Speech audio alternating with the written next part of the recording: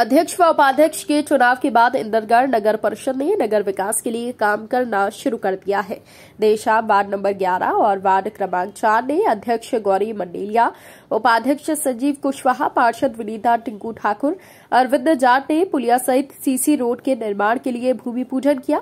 इस दौरान पार्षद रवि चौरसिया मेहताब परिहार, चरण दास केलारे, सुमित उपाध्याय, सत्यवीर राणा, मंडल अध्यक्ष रामलखन गुर्जर, उपयंत्री नंदकिशोर गोस्वामी उपस्थित você.